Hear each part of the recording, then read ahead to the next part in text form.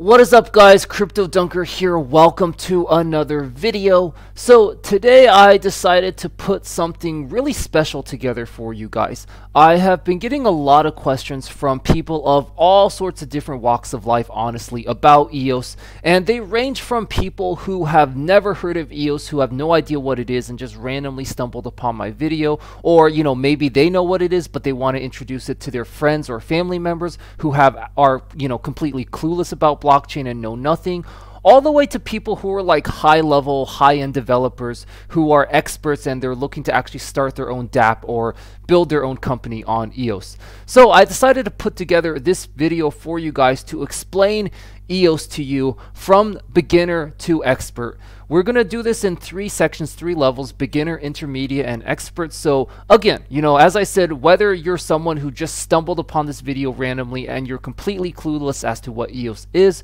all the way to, you know, if you're a high level developer looking to build your own massive adoption killer dApp on EOS, this video is for you. You'll learn something, so stick around. All right, so let's start with the beginners. And before we talk about what EOS is, let's first talk about what it is not. All right, so it is not the Canon camera, and it is also not the EOS lip balm. I know I know this sounds silly to those of you who are regulars on my channel, but you won't believe how many comments I get from people, you know, when I tell them I make videos about EOS. Oh, so you talk about cameras, you talk about lip balm, are you a makeup tutorial channel? What? No, no, no, no, no, guys. This is not EOS. At least not the EOS we're talking about, not EOS IO.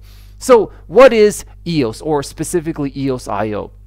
Well, here is what you need to know if you're a beginner. If you're a complete beginner, that is, and you, I, I'm operating off the assumption that you don't even know what a blockchain is. All right. Okay, so you could think of it like Bitcoin, all right? So I'm assuming you know at least a little bit about or you've heard of Bitcoin. So like Bitcoin, it you can think of it as internet money, as sort of a digital cash where you could just transfer money to anyone across the world for zero cost, literally zero cost. Um, that's the first thing you need to understand about uh, EOS. All right, it's similar to Bitcoin in the sense that it's an internet money. It's a peer-to-peer digital currency. However, the second and more important thing you need to know is that it's decentralized, all right? And what that means is there's no group or party, for example, a government, a bank, or a corporation that controls it right? It's just completely done by the people, and we'll get into that more uh, in the intermediate section, but that's the important thing you need to know. It's decentralized, free from centralized control from any one entity. Unlike Bitcoin, however, it is also a protocol platform, meaning it also can host decentralized apps, which we call dApps. All right, that's an important word to remember if you're a beginner. You'll hear that term used all the time throughout this video and throughout the EOS community. Decentralized applications, we call them dApps. EOS is a protocol platform that can host it. And dApps can be anything. You know, it can be anything from social media to games to whatever, you know, you see on the iOS App Store. There is a decentralized version of that as well. And it is, in my opinion, possibly the most revolutionary technology we've seen since the internet. And I know this sounds like an exaggeration, but trust me, by the end of this video, I'm not clickbaiting you. You'll see exactly what I mean. All right, so you may be asking now though, why should I care, right? I mean, my why do I care about some internet money? I have my own money. I have PayPal. I can send money to people. You know, I have my Facebook, my games. I don't need a decentralized one. Why do I care about this? Why should I care? Well, this is why you should care. So there are both practical reasons, you know, reasons that will make your life easier and moral reasons that you should care. Let's start with the practical ones. So the practical reasons goes as follows. Decentralization means removal of middlemen, and that saves us a lot of resources. So think back to any time you used MoneyGram or Western Union or any other money transfer service to send money to your friends across the world. How much did it cost? You know, how much were all the fees with all of those, right? Maybe not so much, but you know, it adds up to a lot over time. And so, and it, especially with microtransactions, right? This also makes it so, you know, let's say you just want to send your friend like $5, right? or $1. You know, you can't do that with MoneyGram with Western Union because the fees would be more than what you send. But with EOS, there are no middlemen, there are no fees. So all the money that would have gone to Western Union or to MoneyGram, you get to keep that in your own pocket. Now, this doesn't just apply to money though. This applies to all decentralized apps, which because of the lack of fees, because we're cutting out the middleman, this is going to open the doors to many potential careers that were previously impossible or at least incredibly difficult to attain. And this ties into my third point, which is that everything from games to social media will be monetizable. So this especially applies to those of you who are writers, for example, or artists, or you know, entertainers, creators. It has always been really, really hard to monetize our content because it's just, you know, on social media, you know, Facebook wants to take all our money, right? We, we make a lot of money for Facebook, for YouTube, but they take a lot of the revenue, right? Uh, so, you know, this you know, just think that Facebook is a multi-billion dollar company and it's free to use.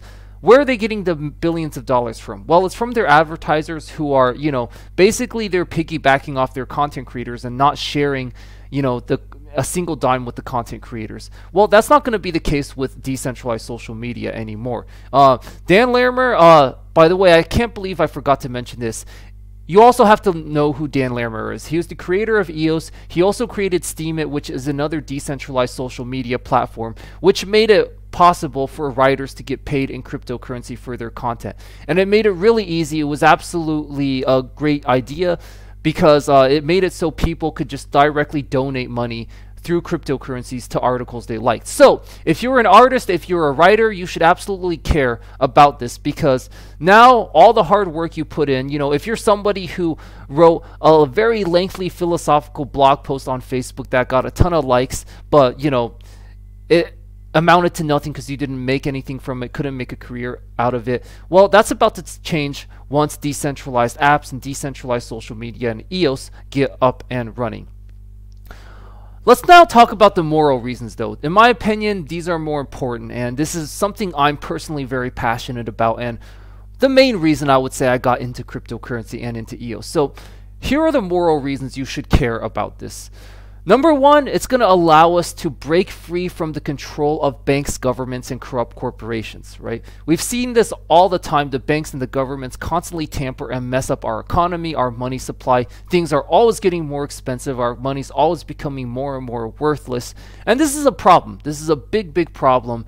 And once and i believe one of the problems is that the power is concentrated too much in one centralized entity. You know I, there should never be one single entity that can control the money for billions of people and unfortunately that's what we have going on. So by having a currency that's decentralized and free from the control of the state and from corporations this is going to be huge Decentralized social media will also be free from the rampant political bias and censorship we are currently seeing on centralized social media platforms such as Facebook, Twitter, YouTube, Patreon, etc., etc.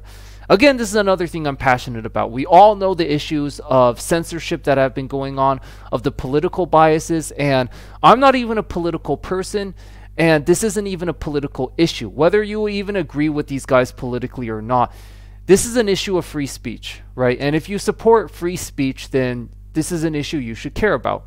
And this is also an issue that once we have decentralized social media problems, we will not have the problems with these, you know, centralized censorship political bias that we currently see. You know, the main problem with that, by the way, is the fact that most these tech companies were started up in San Francisco, which is a very, very liberal leaning place.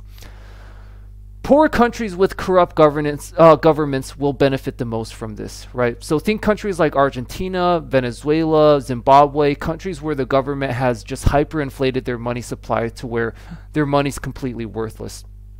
Those are the countries who are going to benefit most, and in fact are already benefiting the most. We already do see, you know, in EOS Venezuela, and we see in Venezuela a lot of people are opting to use digital uh, cryptocurrencies over their own currencies because their own currency isn't worth anything. You know, their centralized corrupt government has completely screwed everything up. so if you truly care about the poor guys, if you truly care about free speech, if you truly care about, you know, your political uh, your your political views, this is one way you can actually make a difference apart from just virtue signaling about it. So this should excite you.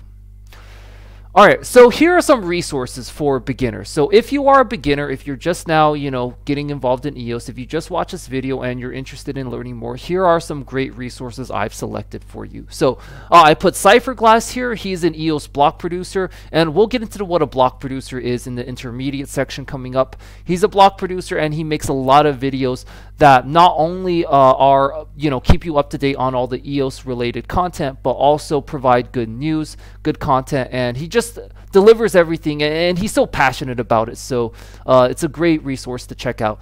Uh, I also put Crypto Tim again. You know, one of my good friends. Uh, I started an EOS Gamers channel with him, and he has a lot of great content, and it's just a funny character in general. So uh, definitely check it out. I love his enthusiasm.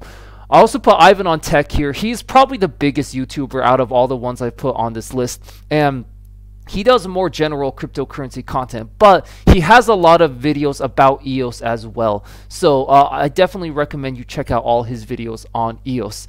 Uh, he's a he's a programmer, a developer who turned into a YouTuber and does a great job explaining cryptocurrencies from the developer side of things. Uh, Dallas Rushing is another great one. So um, actually this was the guy who I watched and was inspired to make my own channel about. And uh, big congratulations to him because he recently started his own company, his own DApp called Karma that's built on EOS, and it's pretty successful so far. So check out his channel too. EOS Apologist is another great one, guys. Uh, I'll link him in the description as well. Uh, he just does a great job hyping EOS and opening your mind to all the possibilities of it, and you just get the goosebumps when you watch his videos. Uh, and also, finally, I've put EOS, the EOS communities on Reddit, Facebook, and Telegram. So we have a great community, guys. This is one thing I love about us is unlike the general cryptocurrency community, unlike so many other cult-like communities, we are very supportive. We're very helpful. If you have any questions, you know, people there in general will always be helpful, always be happy to answer them. All right, so uh, now that we're done with uh, the beginner section, and hopefully you've learned something, perhaps now you could consider yourself an intermediate. So if you are an intermediate, you know, if and you know, to define intermediate, I guess I would say this is somebody who knows a decent amount about blockchain, but maybe not so much about EOS uh, in in particular. So if you consider yourself an intermediate, this is what I think. Uh, this is what I would suggest for you to learn. All right, so uh, the first thing I would say is to learn the differences between EOS, Bitcoin, and Ethereum, right? So you know what a blockchain is, you know how cryptocurrency works, and you know what decentralization means. But what are the differences between the individual cryptocurrencies? Because they're big. And how big they are? Well, there is a reason that EOS can process 4,000 transactions per second, while Ethereum can only do about 15 and Bitcoin can only do about 7, right? And it's important to learn why EOS is so much faster, cheaper, and more efficient than the other ones. And this ties into my second point, which is to learn what DPoS or delegated proof of stake is and how it differs from proof of work or proof of stake. So, uh, delegated proof of stake is the consensus mechanism invented by Dan Larimer, the created, uh, creator of EOS. It is what allows EOS to scale up to 4,000 transactions per second and have zero transaction fees, while Bitcoin and Ethereum are stuck doing 7 to 15. Uh, after that, I would say you're ready to create an EOS account. So, you know, EOS Lynx is a great resource for that. You can create an account for just 99 cents, and you can then learn to stake, unstake, send tokens, and vote. So, just the basics, guys. Uh, you know, you don't need to go crazy using dApps just yet, but learn the basics, you know, of just how to send tokens, how to stake, unstake, so on and so forth. And then finally, I would say to just keep up with all the latest dApps. And a great resource for that is DappRadar.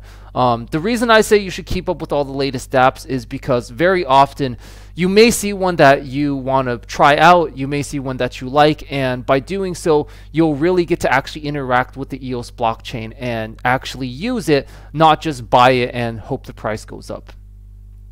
So, resources for intermediates. Uh, Colin Talks Crypto, I didn't include him in the beginner section just because, in my opinion, he talks about more nuanced news related items that are more current and up to date. And it may be a little overwhelming if you're a beginner, but if you're an intermediate and you already, you know, have a decent understanding, he's a great resource to just keep up with all the latest developments.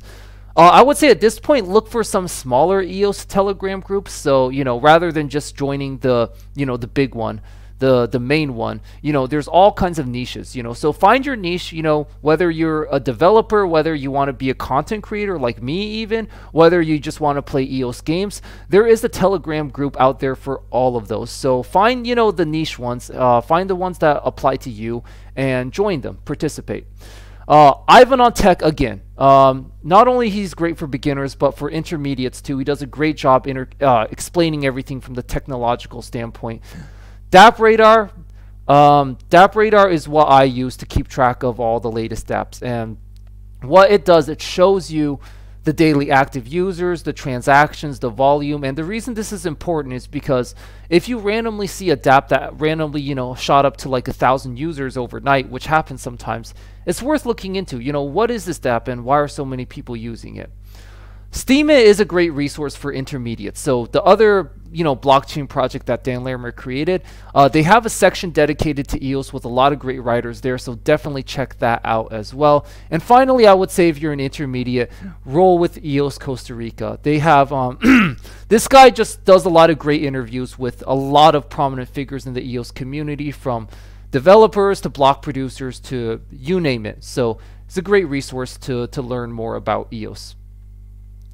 Okay, experts now. All right, so if you consider yourself an expert, and whether you're looking to build your own dApp on it or you just want to, uh, you know, spread the word about it, whatever the case may be, um, this is what I would suggest uh, you do, and this is what I'm trying to do as well.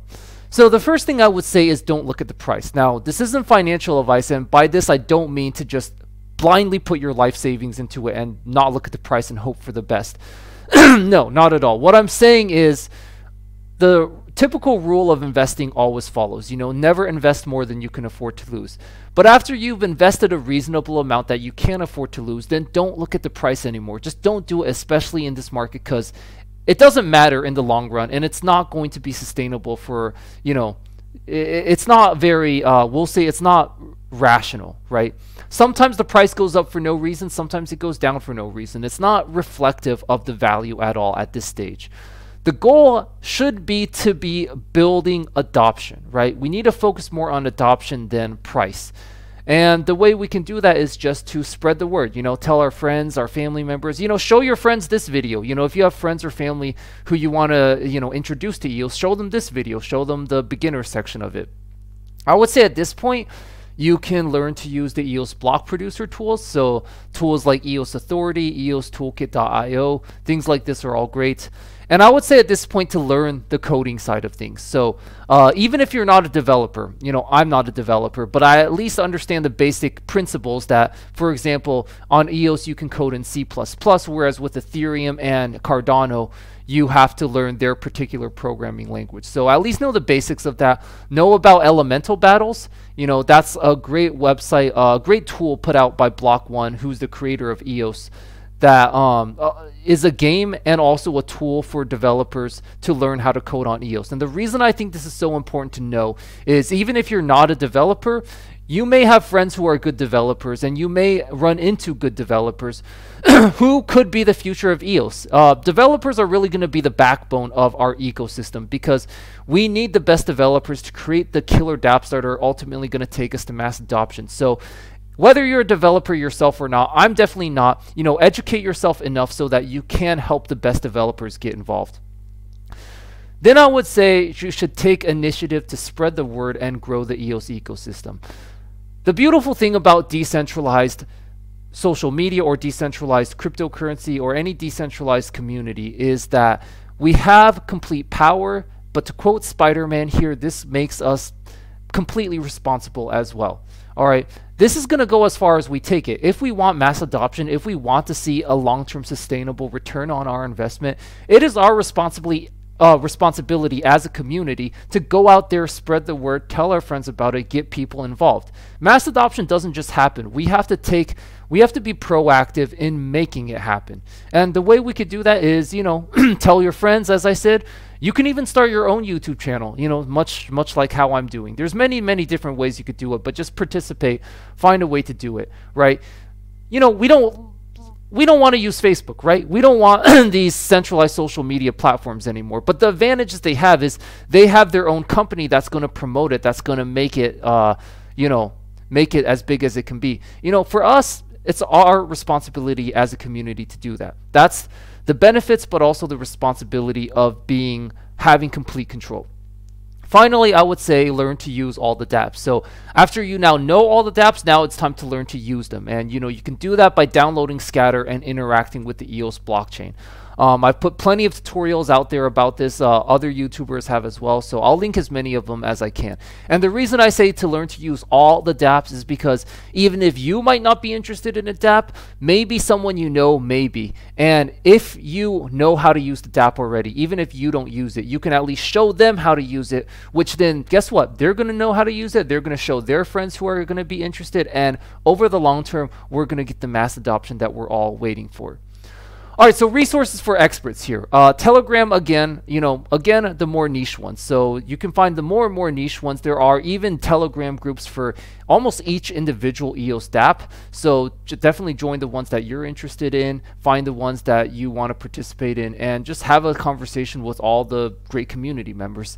Uh, Elemental Battles uh, is the one, the resource put out by Block One to assist Block uh, potential developers. So what it does is it's a, both a card game and it also teaches you, you know, you can play the game just for fun if you want, but also if you're a developer and you want to learn more about how to develop on EOS, it's a step-by-step -step guide that teaches you how to code on EOS using a fun and interactive tool of just having you program a game on the, on the fly.